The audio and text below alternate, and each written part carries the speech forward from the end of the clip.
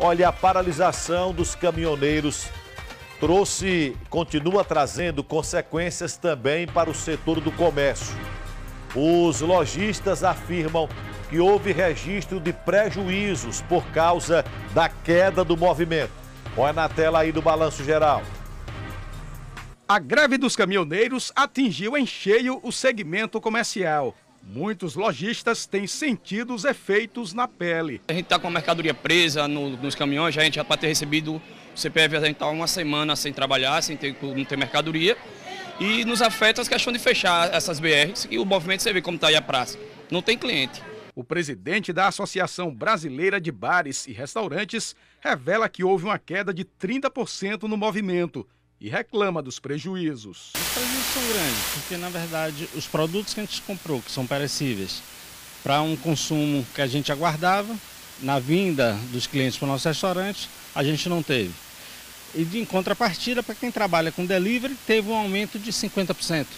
Né? Então, ao tempo que o restaurante teve uma perda em torno de 30% na espera dos clientes que não vieram, mas o delivery teve um, um acréscimo em torno de 50%. Os efeitos da greve também têm atingido o setor de supermercados.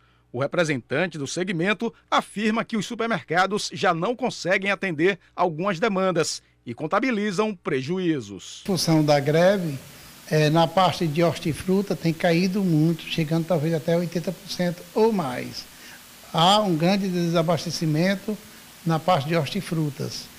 Na parte de derivado de leite e animal, pode chegar até 30%, porque não temos caminhão para carregar, transportar nossa mercadoria. O presidente da CDL explica que a situação tem afetado vários segmentos da economia, mas que ainda não é possível mensurar os impactos. É difícil a gente mensurar porque você vai afetar toda uma cadeia, né? Toda uma cadeia, desde a cadeia produtiva, como a de serviço também, é, o TRT e o TJ também suspenderam suas atividades hoje, no dia de hoje, então as, a frota de, de, de, ônibus também teve sua, sua frota reduzida. Então é, é, é, uma desencadeia os demais e a gente não tem um número preciso para poder é, é, levantar agora. Mas eu acredito que todo o, o setor, todas as a, a, a cadeia produtiva deve estar sentindo é, em algum aspecto. Esse economista afirma que os impactos da greve na economia são imensos. Diz também que nesse momento é difícil falar em números. Nesse momento é impossível fazer uma estimativa porque tem os impactos diretos e indiretos que ninguém sabe ainda calcular. Só vai ser realmente possível ter uma noção mais precisa na virada do mês, quando os números são fechados, são divulgados e aí a gente vai ter dados mais precisos.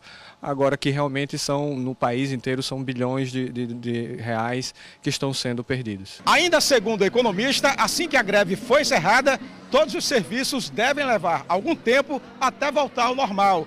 Ele estima que todos os setores estejam normalizados em até 60 dias. Alguns segmentos são mais sensíveis e vão demorar ainda mais.